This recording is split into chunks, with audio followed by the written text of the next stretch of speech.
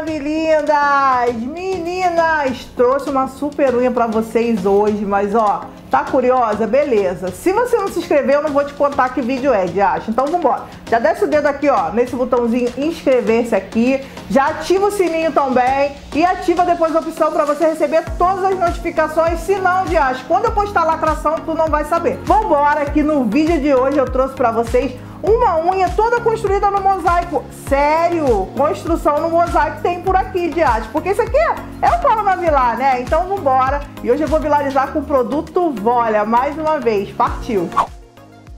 No vídeo de hoje eu vou estar utilizando Control Pink e Control White, que eles vão ser as estrelas do vídeo, tá ok?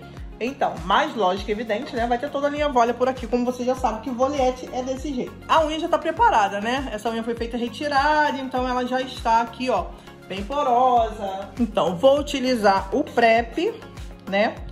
Para limpeza e proteção também, né? Da superfície. Próximo passo, ó, é aplicar o desidrate, ó.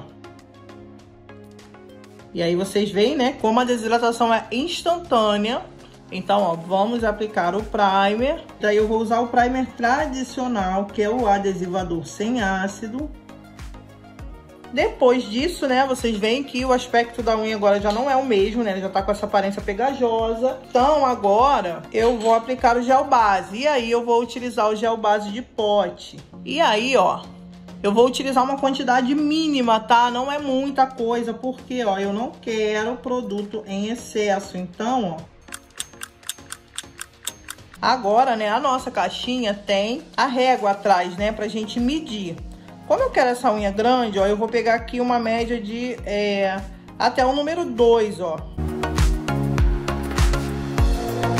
Daí agora a gente vai pegar mesmo, o mesmo gel base e daí a gente vai fazer a aderência. Ó, viram como ela é mais fininha, ela adere bem mais rápido, ó.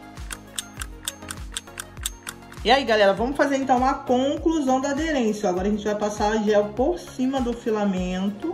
E daí vamos fazer agora mais 30 segundos de cabine. Agora, para fazer a pré-curvatura, eu vou utilizar o Classic Blank, porque eu vou estar tá fazendo uma mosaico. E essa mosaico vai ser toda branca, tá, gente? Vou dar um segundo de cabine. Vou fechar com o meu próprio dedo mesmo, tá? A fórmula atualizada agora, a gente faz a pré-curvatura em 4 segundos, né? Mas eu dei um segundo só, por quê? Pra minha fibra não fechar a ponta, tá? Porque é uma unha longa, né? Geralmente quando a gente faz unha longa, o que acontece? A fibra vai encolhe na ponta, né? E aí a gente quer fazer um quadrado e a gente não consegue. Eu vou passar um pouco de gel na parte de baixo da unha. O mesmo pincel que tá sujo de blank.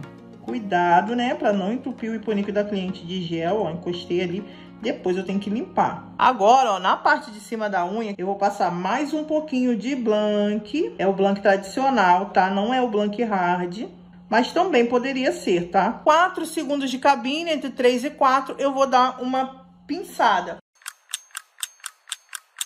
A unha veio, e agora é o momento real da pré-curvatura, né? Eu coloquei um pouquinho mais de gel em cima, que isso vai fazer o quê? Vai gerar um aquecimento. E aí eu vou conseguir curvar essa borda maravilhosamente. Olha só que lindo, hein? Eu vou fazer 60 segundos para essa curvatura ficar bem rígida.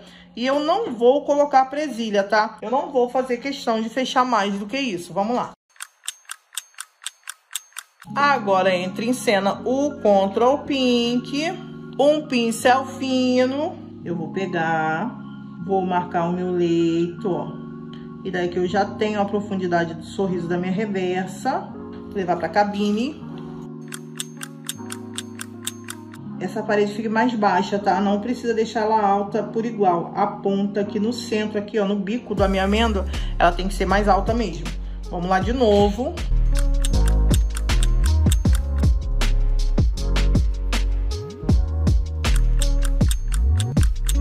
E agora eu vou começar a encher.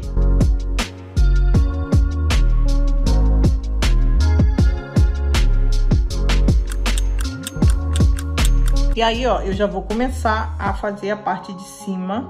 Agora, ó, eu não vou soltar, né? Que eu preciso fazer com que ele vá onde eu quero. Cabine aí, 120 segundos. Gente, é literalmente um duelo, né? Não, contra o Pink contra o White. Qual é o mais bonito de acho? Comenta aí. Mas ó, tô parando rapidinho aqui pra falar pra você não esquecer de deixar um like nesse vídeo. Até porque eu mereço, né não? Então vambora.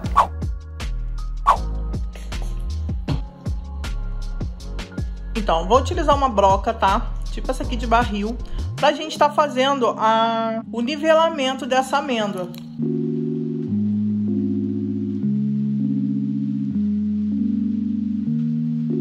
vem com uma lixinha mais fininha, acertando o sorriso da minha amêndoa, tá? Procura deixar essa lixa, ó, deitada, tá?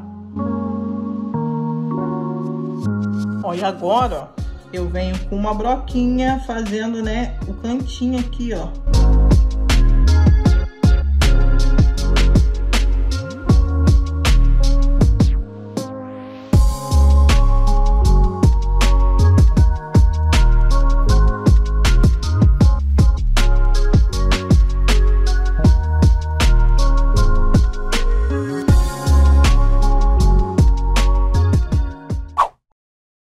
Eu vou estar tá entrando agora com um esmalte em gel é, branco, tá? É bem branco mesmo. Lá no cantinho eu não vou pintar ainda, tá? Porque lá no cantinho eu vou usar um pincel mais fininho pra eu não fazer, não estragar o meu canto. E daí agora eu venho com o meu pincel fininho aqui, ó.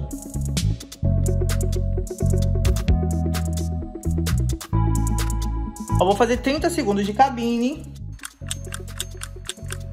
Aí, ó, após os 30 segundos, eu vou fazer novamente.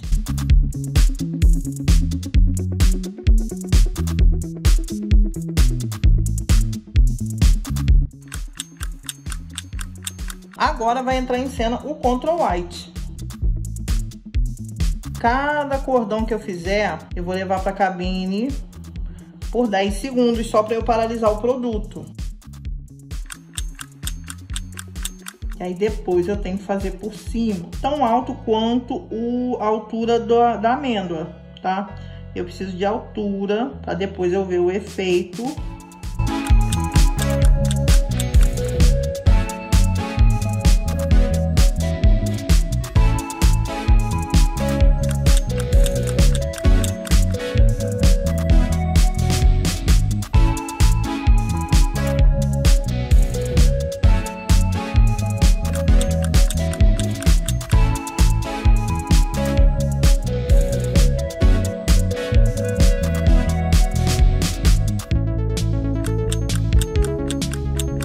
aí, o legal do mosaico é que a gente não precisa ter uma regra, né? A gente vai fazendo, tá? E daqui a pouco vocês vão ver o efeito lindo que vai ficar. Então é isso, cada vez que a gente marca, a unha vai pra cabine, tá? Depois ela vai ter que ficar na cabine por um bom tempo.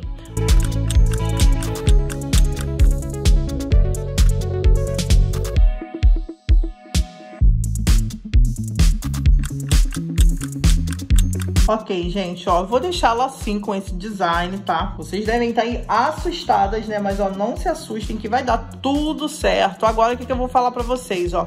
Vou deixar essa unha na cabine aqui, ó, por 120 segundos, tá? Então, o próximo passo agora, ó, é repassar o esmalte branco. O esmalte branco, de certa forma, ele faz um contorno e para fazer a aplicação desse pó, eu vou utilizar um pincel de esfumar. Como pó cromo, eu escolhi esse aqui, que é um pó cromo de maquiagem, né? Mas funciona tanto quanto, tá? 10 segundos só para esse glitter grudar bem aqui, ó.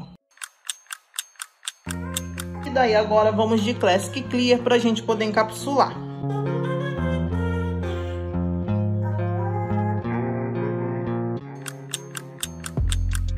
E daí eu vou tentar pinçar um pouquinho para dar uma fechada na curvatura.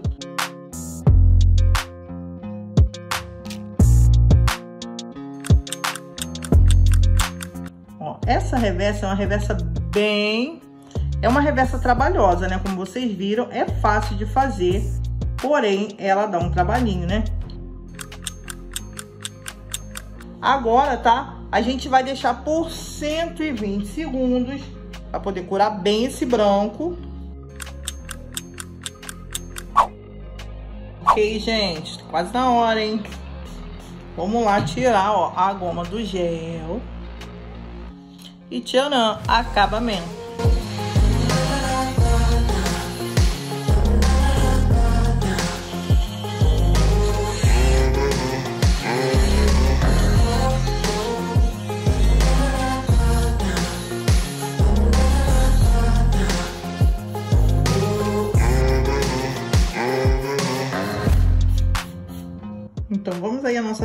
Finalização, né, com bom top coat.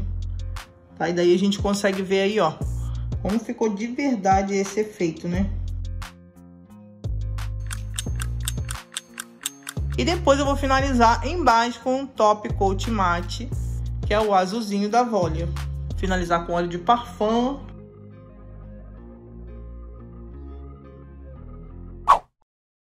Ah, gente, ó, sinceramente, dá uma dor no coração. Eu falo, é, tem aquele ditado que fala, a dor do parto é, a dor do parto é grande, né? Mas eu tenho que partir, não tem jeito. Então, gente, já queria agradecer a vocês que ficaram até o final desse vídeo. Quero a sua opinião sobre esse tutorial, se você gostou, se você não gostou, se você achou mara, se você não achou. É isso, gente, a gente tá aqui pra isso.